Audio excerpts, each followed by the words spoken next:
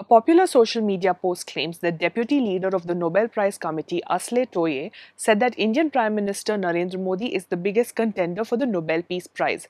Toje, who is on an India tour, attended a roundtable discussion in New Delhi on 14th March 2023. At a media interaction after this conference, he praised India and particularly Modi, appreciating the Prime Minister's role in stopping Russia from using nuclear weapons during the ongoing Russia Ukraine war. Following the statement, multiple prominent news agencies, including Hindustan Times, The Times of India, and Mint, shared articles reporting this statement. ABP hosted a TV debate on the prospects of Modi winning a Nobel Peace Prize in the context of Toje's statement.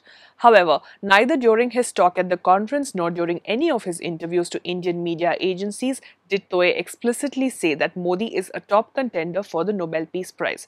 In fact, during one of his media interactions when he was categorically asked about this, Toje made a generic statement that any leader should aspire to receive the Nobel Peace Prize as they should try to do enough for peace in the world to deserve this award.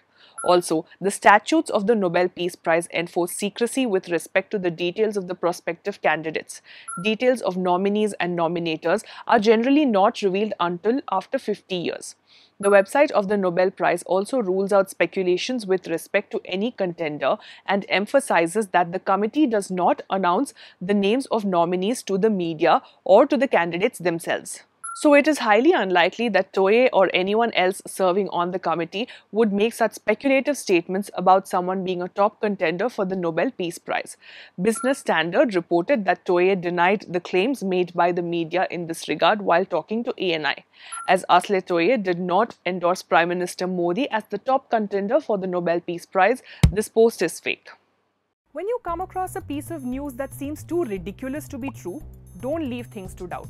Run searches on Google and Yandex and weigh out the true and false of the situation for yourself by looking at the facts. But first of all, before you hit that forward button, pause.